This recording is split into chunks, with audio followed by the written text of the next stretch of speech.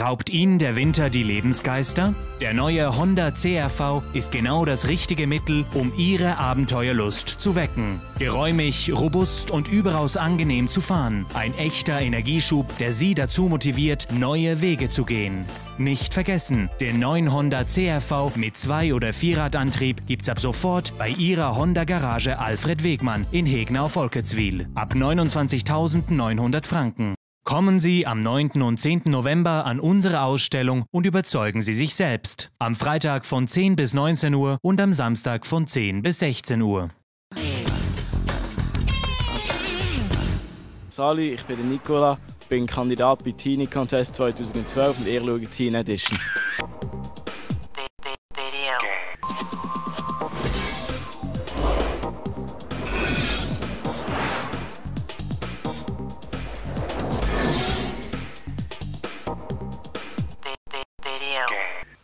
Ich begrüße dich zu der 56. Teen Edition.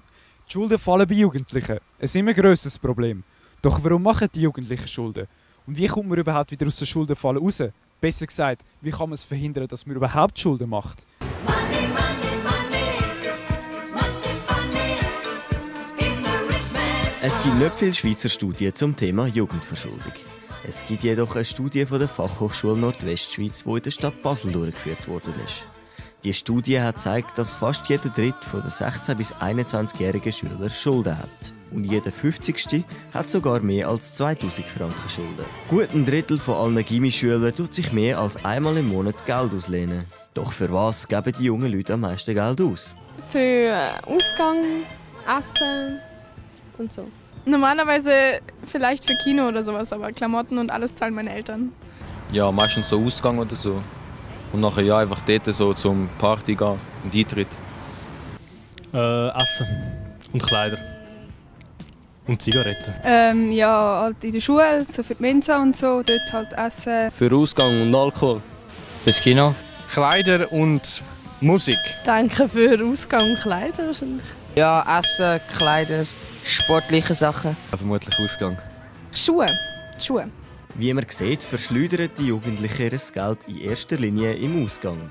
Wenn man zu viel ausgegeben hat und merkt, dass man verschuldet ist, kann man sich an verschiedene Stellen wenden, die einem weiterhelfen.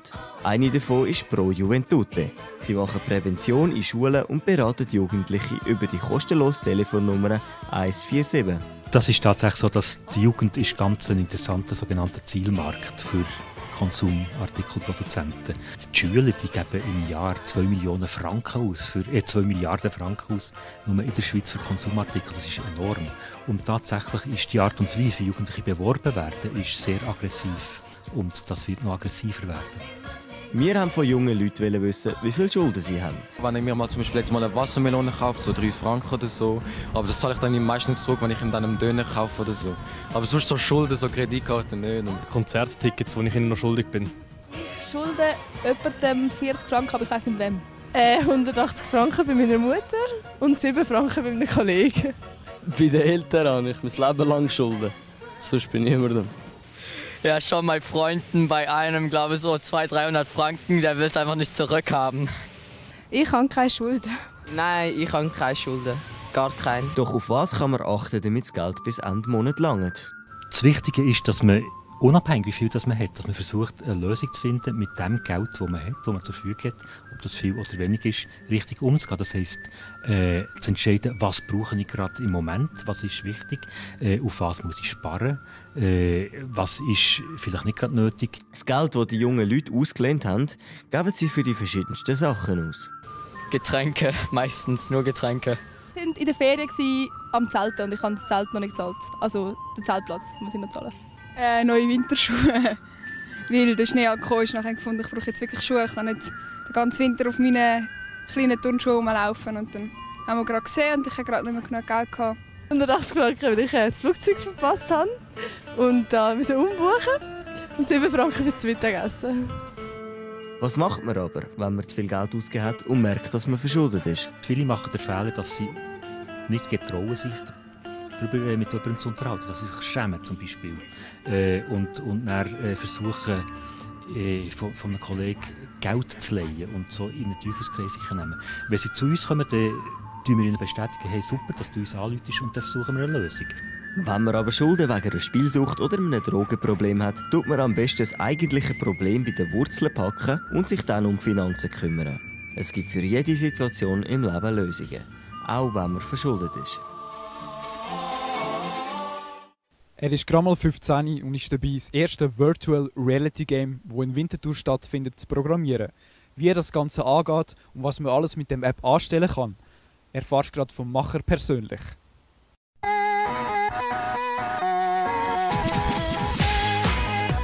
Eine Studie hat gezeigt, dass die Freizeitbeschäftigung Nummer 1 von Jugendlichen die Smartphone-Benutzung ist.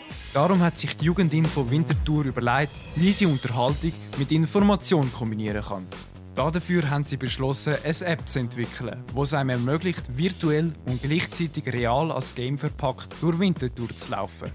Und das Ganze selbstverständlich auf dem Smartphone. Doch zuerst erklärt uns Priska Zimmermann, wie die ganze Idee entstanden ist. So, hier in der Stadtbibliothek Winterthur im U21 haben sich der Arthur und ich das erste Mal getroffen. Und da ist die Idee entstanden, dass man von den Informationen von der Jugendinfo eine App machen könnte. Und der Arthur hat gesagt, er könnte das und würde mir da dabei helfen. Und so ist das Projekt hier im U21 entstanden, wo sonst analog die Informationsflyer sind von der Jugendinfo. Verwirklichen soll das Ganze der Arthur Stenske, Praktikant beim Verein Tatenträger. Für die technische Umsetzung wird der Arthur von Raphael Freuler unterstützt und coacht.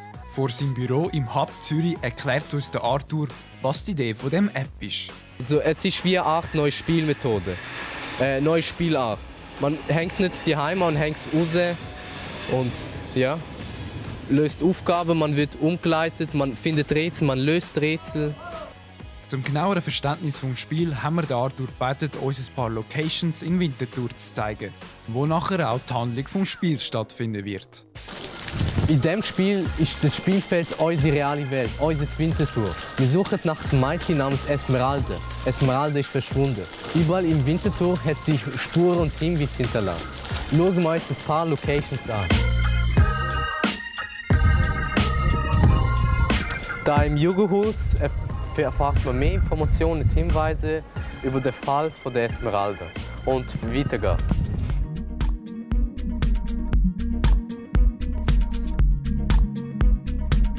Im Verlauf des Spiels erfahrt man, dass, Stadtbibli- dass die Stadtbibliothek ein neuer Standpunkt ist. Dort, wenn man Bibliothekarin fragt über das App, bekommt man einige weitere Hinweise und Informationen, wo sich die vermisste Person Esmeralda befindet. Wie zum Beispiel ein Tagebuch oder ein Chatprotokoll. In diesem Spiel sind auch solche kleine Details wie der Brunnen vorhanden.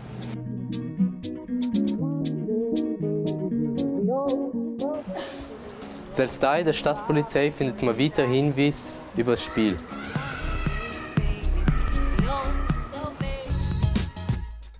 So viel zum Spiel. Die meisten User interessiert es wohl noch, auf welchen Smartphones das Spiel überhaupt läuft.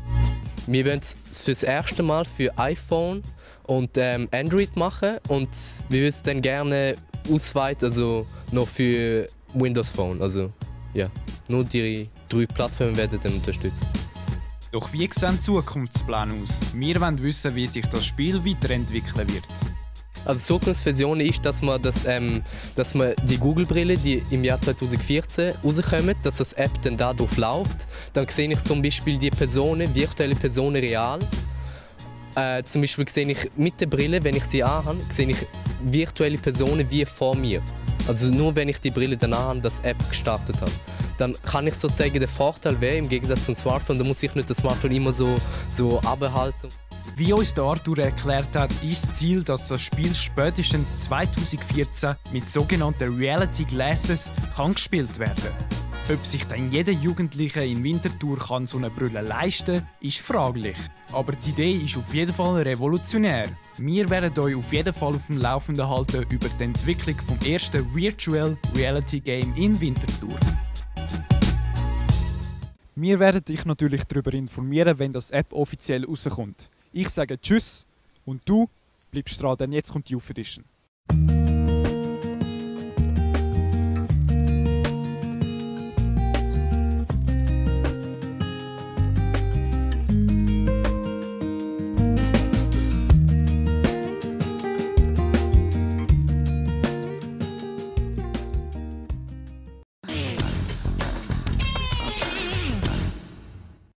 Raubt Ihnen der Winter die Lebensgeister? Der neue Honda CRV ist genau das richtige Mittel, um Ihre Abenteuerlust zu wecken. Geräumig, robust und überaus angenehm zu fahren. Ein echter Energieschub, der Sie dazu motiviert, neue Wege zu gehen.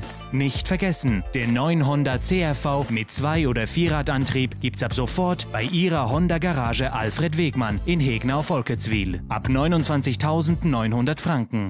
Kommen Sie am 9. und 10. November an unsere Ausstellung und überzeugen Sie sich selbst. Am Freitag von 10 bis 19 Uhr und am Samstag von 10 bis 16 Uhr. Guten Tag allerseits, das ist der Jonsch und ihr schaut w w w w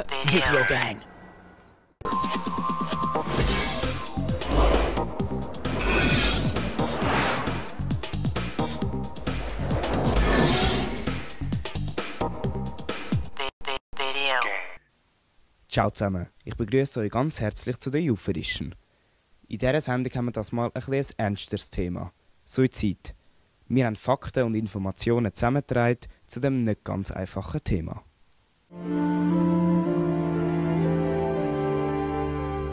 Schau, Mami, so fühle ich mich jetzt, hat eine junge Frau gesagt, nachdem sie die Statue gemacht hat. Dass der Kopf dieser Statue nicht voller Verzweiflung gesenkt ist, hat Kraft gegeben. Ein bisschen später hat Miriam, Tochter von der Frau Zürcher, doch noch Suizid begangen. Ich sage immer, unsere Tochter hat nicht sterben, aber sie hat so nicht weiterleben. Der seelische Druck ist für sie einfach zu stark. Was ich ganz sicher weiß, dass sie nicht hätte wollen, äh, dass wir jetzt einfach vom Rest von unserem Leben um sie trauern. Sie will einfach, dass sie, sorry, dass wir sie, sorry, im Herz behalten, nicht vergessen.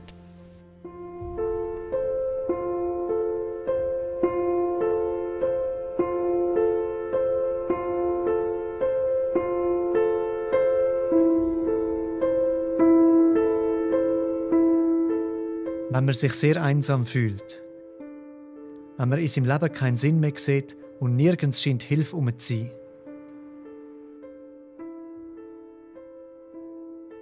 dann sehen manche Menschen nur noch eine Alternative.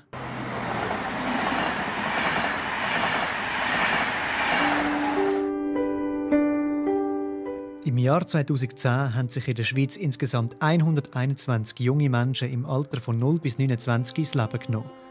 Im Vorjahr sind es noch 151 gewesen. Zwar ist die Zahl in den letzten Jahren immer kleiner geworden, sie ist aber natürlich immer noch viel zu hoch. Eine mögliche Hilfe für Jugendliche mit Depressionen wäre Therapie. Der Herr Scherer, Fachpsychologe für Psychotherapie und klinische Psychologie vom Institut ZEPT, hat tagtäglich mit Suizidpatienten zu tun und erzählt uns, wie es überhaupt so weit kommen kann, dass man an Selbsttötung denkt. Selbstmordgedanken können Ausdruck sein von einer Krise und jeder Mensch hat wahrscheinlich schon mal eine Krise gehabt. Krisen treten auf manchmal bei Lebensveränderungen und das Jugendlichenalter ist ja das Durchgangsstadium, wie wir alle genau genommen eigentlich immer in einem Durchgangsstadium sind, permanent.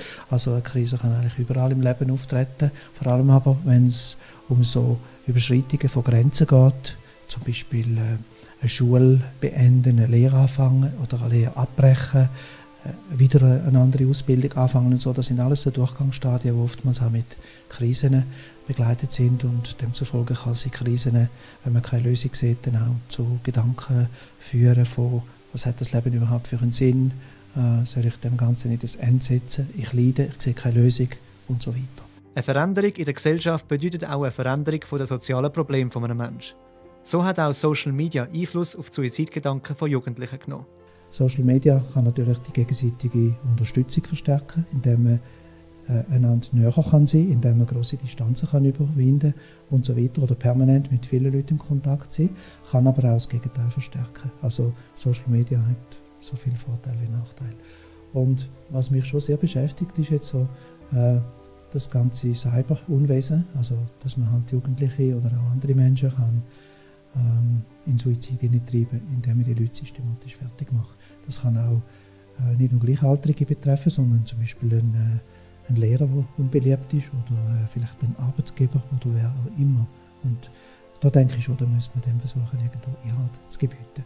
Also kurz gesagt, Social Media ist halt eine Verstärkung, wie andere technische Sachen auch. Häufig suchen Hinterbliebene nach einem Schuldigen.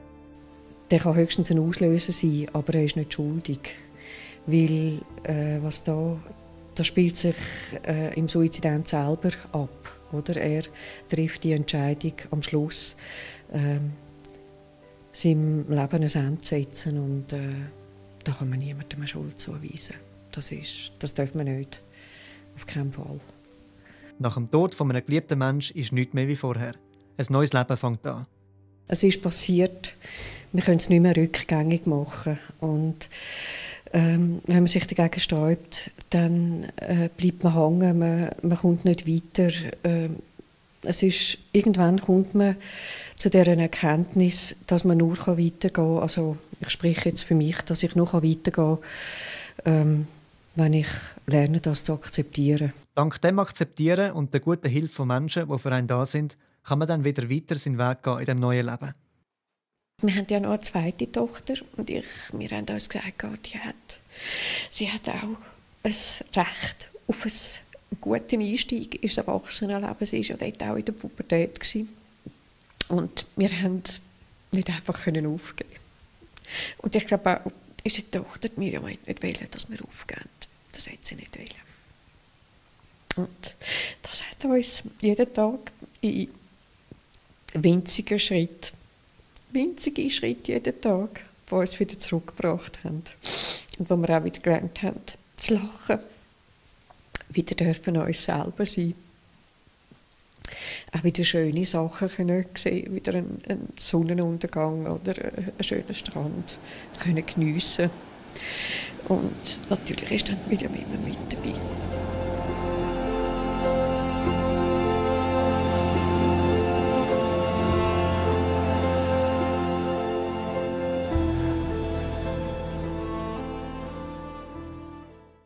Leider ist Suizid immer noch ein Tabuthema.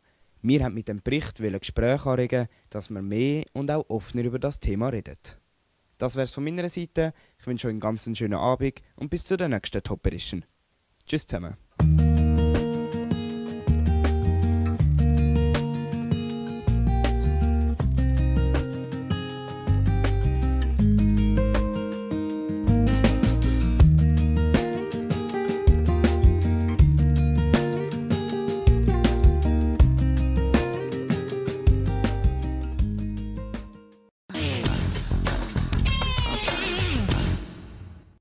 Raubt Ihnen der Winter die Lebensgeister? Der neue Honda CRV ist genau das richtige Mittel, um Ihre Abenteuerlust zu wecken. Geräumig, robust und überaus angenehm zu fahren. Ein echter Energieschub, der Sie dazu motiviert, neue Wege zu gehen. Nicht vergessen, den neuen Honda CRV mit Zwei- oder Vierradantrieb gibt's ab sofort bei Ihrer Honda Garage Alfred Wegmann in Hegnau-Volketswil. Ab 29.900 Franken. Kommen Sie am 9. und 10. November an unsere Ausstellung und überzeugen Sie sich selbst. Am Freitag von 10 bis 19 Uhr und am Samstag von 10 bis 16 Uhr.